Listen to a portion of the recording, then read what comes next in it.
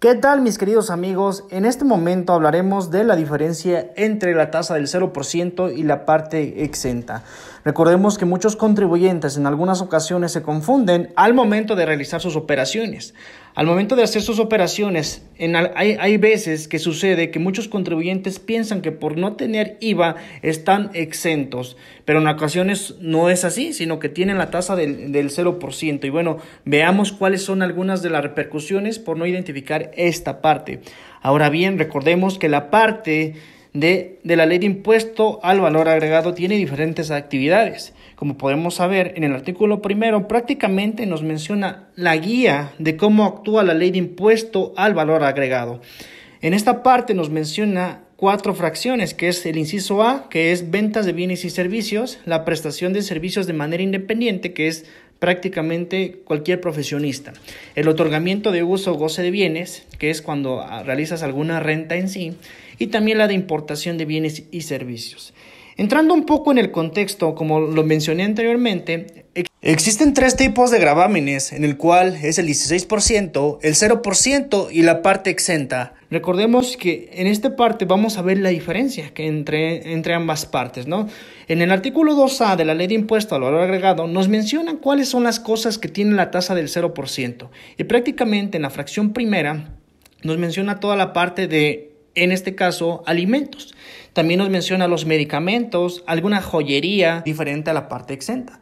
Recordemos que la parte exenta prácticamente es el segundo artículo de cada capítulo, es decir, en la parte de enajenación, que como yo lo mencioné al principio, es la guía de, en este caso de la ley de impuesto al valor agregado, eh, en el artículo 8 es parte de enajenación, artículo 9 parte exenta, artículo 14 parte de servicios, 16%, y en el artículo 15 es parte exenta. Así, posteriormente, cada uno de los artículos va a ir de manera eh, 1.16, otro exento, 1.16, otro exento. Y ahora bien, ya entrando un poquito en contexto, vamos a mencionar un ejemplo para que quede un poquito más ejemplificado esta parte. Bueno, determinación proporción de IVA y el IVA de los pagos del mes de febrero si tuvimos los siguientes ingresos.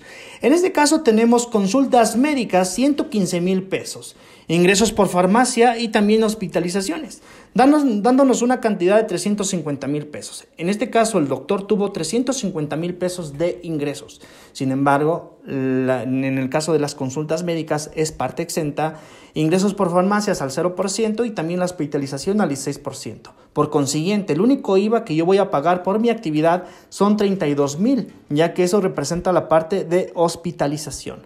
Ahora bien, la otra cara de la moneda son todas las deducciones autorizadas, que prácticamente representan el 16% en insumos médicos, medicamentos tasa del 0% y artículos de limpieza el 16%. Como bien lo podemos ver en esta parte, tenemos 13.600 y 7.200, dándonos una cantidad de 20.800 pesos. Muchos se, muchos se preguntarán y dirán, pues obviamente voy a pagar la diferencia, pero en este caso no, porque en este caso estamos manejando las tres tasas, exento, 0% y 16%. En este caso lo, lo que va a pasar es que se va a hacer un prorrateo. ¿A qué me refiero con el prorrateo?